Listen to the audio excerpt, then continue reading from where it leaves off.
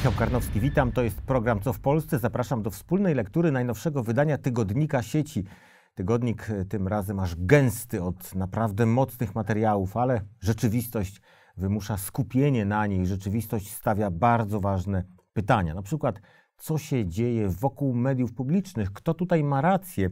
I tu ciekawa bardzo rozmowa z prezesem telewizji polskiej Michałem Adamczykiem, który ujawnia kulisy zamachu na media. To był szok ale nie damy się zastraszyć. Taki jest tytuł tej rozmowy. W biznesie coś takiego, stwierdza prezes Adamczyk, nazwano by wrogim przejęciem, ale w tym wypadku to by było za słabe stwierdzenie. To są po prostu metody bandyckie. Co jeszcze w tej rozmowie? Najważniejsze osoby związane z emisją, z techniką, z bezpieczeństwem zostały zwerbowane wcześniej i to przy ich udziale przygotowywano tę operację. Zdradził też jeden z dyrektorów TAI. To o tych godzinach, gdy napadnięto na TVP. Było dla mnie jasne, że jako kapitan muszę dać przykład i wsparcie ludziom. Szybko wyszło na jaw, że operacja poszła tak sprawnie, bo stoją za tym także służby specjalne. I jeszcze telewizja TVN24 przed wyborami wyszła z płatnej emisji i stała się kanałem otwartym. Być może to jest dług, który teraz jest spłacany. Mówi Michał Adamczyk, dopytywany o konsekwencje tego zniszczenia, niszczenia telewizji polskiej. Ale jest też niszczenie archiwów, które zdaniem rozmówcy tygodnika sieci pokazuje iście bolszewicką zaciekłość. Najpierw zniknęły materiały dokumentujące szkodliwą prorosyjską politykę poprzedniego rządu Donalda Tuska, a potem kolejne. Sprawę komentuje też na łamach tygodnika sieci Jan Pietrzak. No i mamy z nowym rokiem nową rzeczywistość. Nie wygląda ona zbyt dobrze, ale nie zaskakuje. Przecież Tusk obiecywał na wiecach, że przyjdą silni ludzie i zrobią porządek. Nikt poza mną tego nie słyszał? Szefowie państwowych mediów nie bardzo wiedzieli, jak się zachować, by nie zdenerwować wysłanników władzy.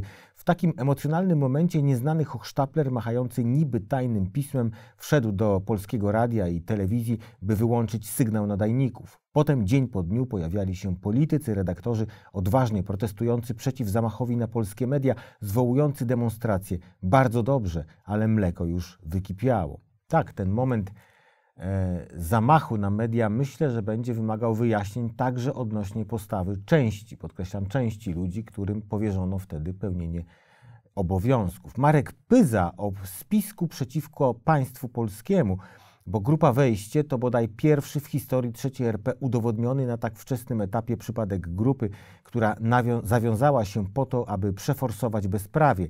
Skoro poszli na taki rympał w sprawie mediów publicznych, to dlaczego mieliby się zatrzymać w przypadku konstytucyjnych urzędów? A grupa Wejście to grono ludzi, która ten zamach na media organizowała. Tak na WhatsAppie się kontaktowali na jednym z komunikatorów, co się też wylało, wykipiało. Jakub Maciejewski był od początku i jest nadal w siedzibie telewizyjnej agencji informacyjnej na Placu Powstańców i opisuje, jak wyglądał ten zamach z miejsca zdarzeń. Telefon przed czwartą rano przerwał nasz sen w jednym z telewizyjnych gabinetów. Weszli do pub, rzucił nasz informator.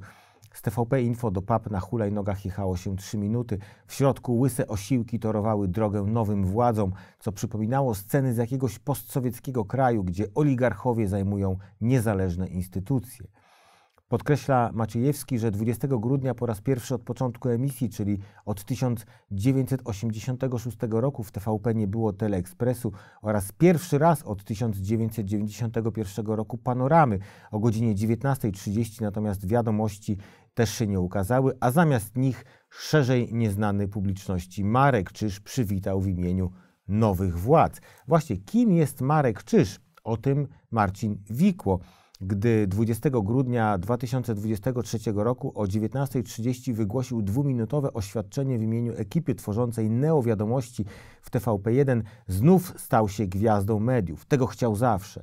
I nie przeszkadza mu firmowanie własnym obliczem bandyckiego przejęcia mediów publicznych przez rząd Donalda Tuska. E, ciekawa ta sylwetka tej twarzy, tej brutalnej, siłowej zmiany. Rewanżyści i postępowcy to tytuł tekstu Jana Rokity, który analizuje szersze tło, co się dzieje w, wewnątrz tej rządzącej ekipy. Trzonem rządu Tuska są dwie frakcje ministrów. Frakcja pierwsza to ci, których misją jest przeprowadzenie operacji analogicznej do denazyfikacji po II wojnie światowej albo dekomunizacji po rozpadzie Sowietów. Frakcja druga to ci, którzy mają nieść nowe gwarancje wolności, czyli społeczni reedukatorzy spod różnych kolorowych sztandarów. Stanisław Janecki o właśnie takiej zmianie w edukacji, lewicowa zmiana w tym obszarze może upośledzić nasz kraj na kolejne dekady, bo czy wszystko w szkole może być lekkie, łatwe i przyjemne? Przerobiona na nowoczesną polska szkoła ma według planów lewicy nauczać mniej historii, a więcej teraźniejszości, czyli edukacji seksualnej uczącej jak budować dojrzałe, pełne szacunku relacje.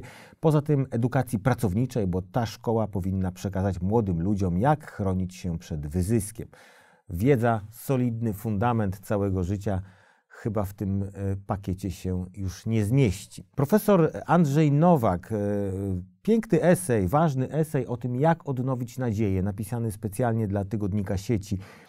Czytam, opozycja totalna, jak sama się z dumą określiła, tworzy dziś władzę totalną. To nie jest tylko władza polityczna w Polsce oparta na koalicyjnej większości sejmowej i tworzeniu rządu po wygranych wyborach. To jest także pełna kontrola nad pozostałymi gałęziami władzy. Teraz one wszystkie razem zgięte są pod jednym ciężarem ciężarem monowładzy. Co robić, jak działać? Odpowiedzi znajdą Państwo w tekście. A zagrożeń na świecie nie brakuje, więc Polska musi być silna, musi być mądrze rządzona, bo jak ostrzega Marek Budzisz, Europa może stać się posiłkiem Putina. Aby europejscy członkowie NATO byli w stanie samodzielnie zadbać o własne bezpieczeństwo, musieliby rocznie wydawać na siły zbrojne o 431 miliardów dolarów więcej niż obecnie. A Polska, czy utrzyma ten kierunek zbrojeń, wzmacniania siły militarnej? Stwierdzenia premiera Tuska, że Koreańczycy wycofali się z kredytowania drugiej fazy zakupów ich sprzętu, co stawia cały projekt pod znakiem zapytania, w koreańskich mediach zostały przyjęte ze zdziwieniem. Jeszcze kulturalne zaproszenie na ważny film.